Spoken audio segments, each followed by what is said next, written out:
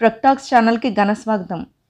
ఒక రాజు గురించి ఆలోచించగానే మనకు గుర్తొచ్చేది తలపై కిరీటం తిప్పిన మీసం ఖరీదైన వస్త్రం చేతిలో ఖడ్గం తిరుగులేని రాజసం. కానీ ఇవేమీ కాకుండా కూడా ప్రజల సంక్షేమం కోసం తన వంశానికి ఉన్న వేల ఎకరాలు దానం చేయటం వందల ఆలయాలు నిర్మించటం వేల మంది పేద విద్యార్థులను చదివించటం వైద్య సదుపాయం కల్పించటం వీటన్నిటికంటే ముఖ్యంగా నేనే రాజుని అనే గర్వంతో కాకుండా నేను మనిషిని అని మానవత్వంతో మెలిగేవాడే అసలైన రాజు. ఆయనే విజయనగర సంస్థాన పోసపాటి రాజవంశానికి చెందిన అశోక్ గజపతి రాజు. పోసపాటి వంశం సూర్యవంశానికి చెందిన ఉదయపూర్ మహారాణా కుటుంబానికి చెందింది. త్రేతాయుగపు శ్రీరాముడు ఈ వంశం వాడే. అయితే ఆయన గురించి తెలుసుకోబోయే ముందు ఈ వీడియోలో ముఖ్యాంశాలు ఏంటో చూసేద్దాం. మాన్సాస్ ట్రస్ట్ వివాదం అసలు కథ ఏంటి? ఆ ట్రస్ట్ ఆస్తుల విలువ ఎంత? కేంద్ర విమానయాన శాఖ మంత్రిగా అత్యంత ప్రతిష్టాత్మకమైన పదవిని పొందిన అశోక్ గజపతిరాజు గారు ఆ పదవికి ఎందుకు రాజీనామా చేయాల్సి వచ్చింది? అశోక్ గజపతిరాజు గారికి క్రికెట్కి ఉన్న సంబంధం ఏంటి? తెలుగుదేశం పార్టీ నాయకుడిగా అందరికీ తెలిసిన అశోక్ గజపతిరాజు గారు మొదట ఏ పార్టీతో తన రాజకీయ ప్రస్థానాన్ని ప్రారంభించారు? అశోక్ గజపతిరాజు గారిని చూసిన వెంటనే ఎన్టీఆర్ గారు ఏం చేసేవారు? ఈ ప్రశ్నలన్నిటికీ సమాధానాలతో పాటు ఇంకా ఎన్నో ఎన్నెన్నో విషయాలు ఈ వీడియోలో చూసేద్దాం. అశోక్ గజపతిరాజు గారు పంతొమ్మిది వందల యాభై ఒకటి జూన్ ఇరవై ఆరున విజయనగరం రాజాసాహెబ్ విజయరామ గజపతిరాజు గారు శ్రీమతి కుసుమ్ మాదాగాకర్ దంపతులకు మద్రాసులో జన్మించారు.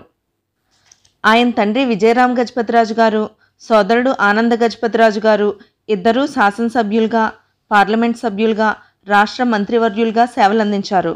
ఈయన సింధియా స్కూల్ గ్వాలియర్ హైదరాబాద్ పబ్లిక్ స్కూల్లో విద్యను అభ్యసించారు. విశాఖపట్నం విఎస్ కృష్ణ కాలేజ్లో చదువుకున్నారు. ఈయన పంతొమ్మిది వందల డెబ్బై నాలుగులో సునీల గారిని వివాహం చేసుకున్నారు. వీరికి ఇద్దరు కుమార్తెలు. పెద్ద కుమార్తె అదితి విజయలక్ష్మి టీచర్ కాగా ఆయన చిన్న కుమార్తె విద్యావతి డాక్టర్గా పనిచేస్తున్నారు. విద్యావతికి రెండు వేల పది మార్చి ఇరవై ఏడున ఎస్ఎస్పి యాదవ్ కుమారుడు భువన్ యాదవ్తో వివాహం జరిగింది. అశోక్ గజపతిరాజు గారికి చిన్నప్పటి నుంచి క్రీడల మీద మక్కువ ఎక్కువ. ఈయన ఆంధ్ర క్రికెట్ అసోసియేషన్కి ప్రెసిడెంట్గా కూడా పనిచేశారు. అంతేకాకుండా క్రీడలకు సంబంధించి విశాఖపట్నం విజయనగరం హైదరాబాద్లో శిక్షణా సంస్థలు నెలకొల్పి అనేక మంది క్రీడాకారులను ప్రోత్సహిస్తున్నారు. విజయనగరం ప్రత్యేక జిల్లాగా ఏర్పడటంలో ఈయన ప్రత్యేక పాత్ర పోషించారు. తమ ప్రాంతంలో అందరికీ విద్య అందించాలనే ఆయన ఆలోచన అనేక గవర్నమెంట్ ప్రైవేట్ విద్యా సంస్థల ఏర్పాటుకు పునాది వేసింది. అశోక్ గజపతిరాజు గారు మాన్సాస్ ట్రస్ట్కు చైర్మన్గా కూడా వ్యవహరిస్తున్నారు. ఈ మధ్యకాలంలో ఈ ట్రస్ట్ కోసం వివాదాలు కూడా జరుగుతున్నాయి. అసలు మాన్సాస్ ట్రస్ట్ వివాదం ఏంటి? వివాదం ఎలా మొదలయ్యింది? అనే విషయాలను చర్చించుకోబోయే ముందు మాన్సాస్ ట్రస్ట్ కోసం కొంచెం తెలుసుకుందాం. మాన్సాస్ ట్రస్ట్ను అశోక్ గజపతిరాజు గారి తండ్రి విజయనగరం పూసపాటి గజపతిరాజుల వంశంలో చిట్ట చివరి రాజు విజయరామ్ గజపతిరాజు గారు తన తండ్రి జ్ఞాపకార్థం ఈ Maharaja Alaknarayan society of arts and సైన్స్ను పంతొమ్మిది వందల యాభై ఎనిమిది నవంబర్ పన్నెండున ఏర్పాటు చేశారు. విద్యా సంస్కృతి సంగీతాలకు పెద్దపీట వేస్తూ ఈ మాన్సాస్ ట్రస్ట్ను ఏర్పాటు చేశారు. ఈ సంస్థ ఆధ్వర్యంలో విజయనగరం జిల్లాలో పన్నెండు విద్యా సంస్థలను నడిపిస్తుండడం విశేషం. ఈ సంస్థ ద్వారా వేలాది మంది విద్యార్థులకు విద్య వసతి భోజనం పుస్తకాలు వైద్యం అన్నీ ఉచితంగా అందిస్తున్నారు. ఆంధ్రప్రదేశ్ రాష్ట్ర వ్యాప్తంగా నూట ఎనిమిది ఆలయాలు వాటి భూములు ఈ ట్రస్ట్ పరిధిలోనే ఉన్నాయి. ప్రస్తుత మార్కెట్ ధరను బట్టి చూస్తే ఈ మాన్సాస్ ట్రస్ట్ ఆస్తుల విలువ యాభై వేల కోట్ల రూపాయలకు పైగానే ఉంటుంది. అయితే అశోక్ గజపతిరాజు గారి తండ్రి పీవీజీ రాజు గారి తదనంతరం ఆయన పెద్ద కుమారుడు ఆనంద గజపతిరాజు గారు ఈ మాన్సాస్ ట్రస్ట్ చైర్మన్గా అలాగే మాన్సాస్ ట్రస్ట్ పరిధిలో ఉన్న సింహాచలం దేవస్థానం చైర్మన్గా ఉన్నారు. అయితే రెండు వేల పదహారులో ఆనంద గజపతి మరణం తర్వాత అశోక్ గజపతిరాజు గారు ఆ బాధ్యతను చేపట్టారు.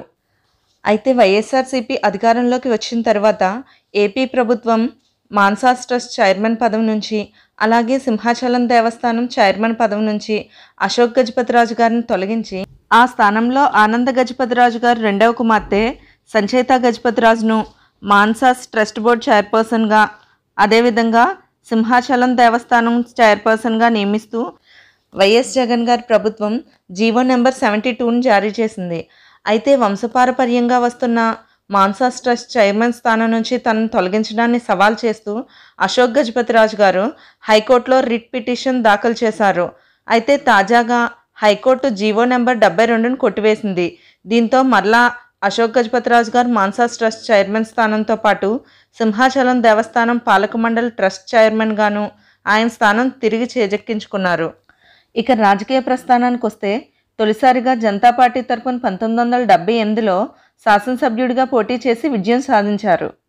తరువాత ఎన్టీ రామారావు గారు పంతొమ్మిది వందల ఎనభై రెండులో తెలుగుదేశం పార్టీ నెలకొల్పాక జనతా పార్టీకి రాజీనామా చేసి తెలుగుదేశం పార్టీలో చేరారు. ఇక్కడ రాజుగారి ఔన్నత్యంకి సంబంధించి ఒక గొప్ప విషయం మాట్లాడుకోవాలి. సాధారణంగా ఎన్టీఆర్ గారిని చూడగానే ప్రతి ఒక్కరూ ఆయన కాళ్ళ మీద పడి నమస్కరించేవారు. కానీ అశోక్ గజపతిరాజు గారిని చూడగానే ఎన్టీఆర్ గారే లేచి నించొని రాజుగారిని గౌరవించేవారు.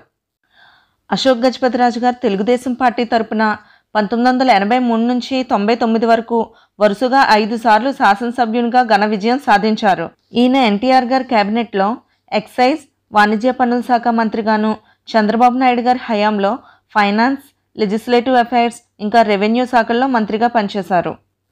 తరువాత రెండు వేల నాలుగు ఎన్నికల్లో మొదటిసారి ఓటంపాలయ్యారు ఆ తరువాత రెండు వేల తొమ్మిదిలో జరిగిన ఎన్నికల్లో మరోసారి విజయం సాధించారు. తరువాత రెండు వేల పద్నాలుగులో విజయనగరం పార్లమెంటు నియోజకవర్గం నుండి పోటీ చేసి ఎంపీగా ఎన్నుకోబడ్డారు. నరేంద్ర మోడీ ప్రభుత్వంలో కేబినెట్ మంత్రిగా పౌర విమానయాన శాఖ బాధ్యతలు చేపట్టారు. కానీ ఆంధ్ర రాష్ట్రానికి ప్రత్యేక హోదా ఇచ్చి తీరాలనే డిమాండ్తో రెండు వేల పద్దెనిమిదిలో తన కేంద్ర మంత్రి పదవికి సైతం రాజీనామా చేసి రాష్ట్రం మీద ప్రేమని తనకున్న నిజాయితీని చాటుకున్నారు. మొత్తం ముప్పై ఆరేళ్ళ రాజకీయ జీవితంలో ఏడుసార్లు ఎమ్మెల్యేగాను ఒకసారి ఎంపీగాను పదవీ బాధ్యతలు నిర్వహించారు. ప్రస్తుతం రాజకీయ నాయకులంటే రాజకీయాల్లోకి అడుగుపెట్టిన కొన్ని సంవత్సరాల్లోనే వందల వేల కోట్లు సంపాదిస్తున్న పరిస్థితుల్లో అవినీతితో సంపాదించడం మాట అటుంచి తనకున్న సొంత ఆస్తులను సైతం విరాళంగా ఇచ్చి నాయకుడిగా కాకుండా సేవకుడిగా ప్రజల గుండెల్లో మహారాజుగా శాశ్వత కీర్తి సింహాసనాన్ని అధిష్ఠించారు. ఆయన ప్రజా జీవితంలో మరెన్నో గొప్ప విజయాలు సాధించాలని కోరుకుందాం. ఇదండి మన వీడియో. నచ్చిందా? ఫ్రెండ్స్ మనం చేసే ప్రతి వీడియో వెనుక చాలా కష్టం ఉంటుంది. ఆ కష్టానికి మీరిచ్చే ప్రతిఫలం ఈ ఛానల్ సబ్స్క్రైబ్ చేసుకోవడం మాత్రమే. మన ఛానల్లో మిగతా వీడియోస్ కూడా చూడండి. మన వీడియోస్లో కంటెంట్ మీకు నచ్చినట్లయితే లైక్ చేసి షేర్ చేయండి. ఇంకా మన ఛానల్లో ఎవరి బయోగ్రఫీ చూడాలనుకుంటున్నారో కింద కామెంట్ సెక్షన్లో తెలియచేయండి. Thank you for watching.